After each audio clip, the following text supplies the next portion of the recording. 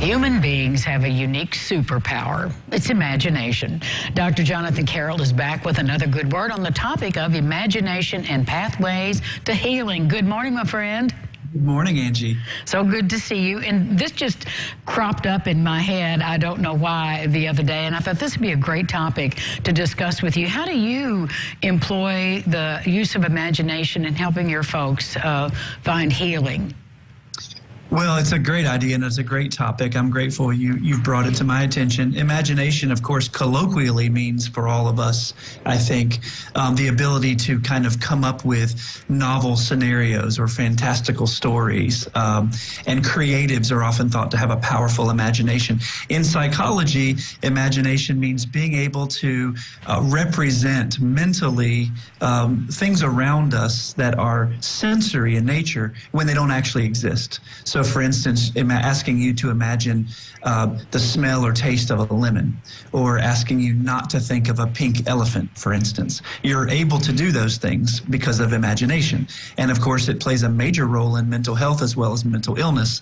On the downside, people use imagination all the time to come up with uh, and to represent stories and ideas that aren't actually happening, which can lead to anxiety and delusions. On the positive side, it can definitely uh, contribute to our healing.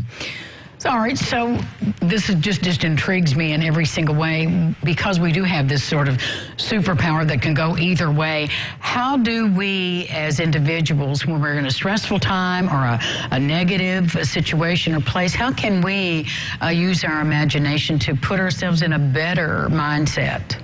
Yeah. So uh, you often hear perhaps of guided imagery yes. or meditation. So these types of things that we can access via uh, YouTube or a podcast, or perhaps if you're seeing a professional, they can uh, help you with guided imagery. What that does is it invites you in the moment, wherever you might be, to take yourself to another place.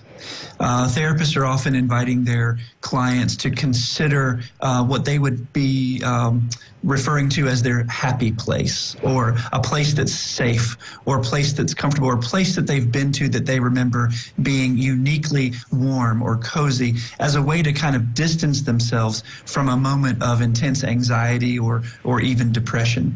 Um, dreams are a form that our imagination takes, and uh, a lot of our dreams, of course, are the unconscious trying to communicate something um, to our conscious brain, and uh, sometimes that makes sense, and sometimes it doesn't and it, it, it's helpful to have somebody who who has studied and researched and has practiced uh, and been trained to do that to help us. It can open up an entirely new world to us. So imagination really gives us the ability to put ourselves in someone else's shoes, which develops empathy, allows us to see things from other people's perspective, allows us to take ourselves mentally and emotionally to a different place, so that we're not imprisoned in this moment where there might be fear or trauma or anxiety.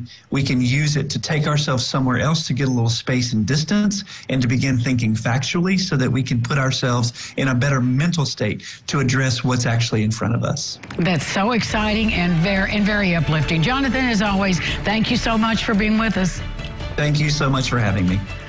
We'll be back with more lifestyles right after this.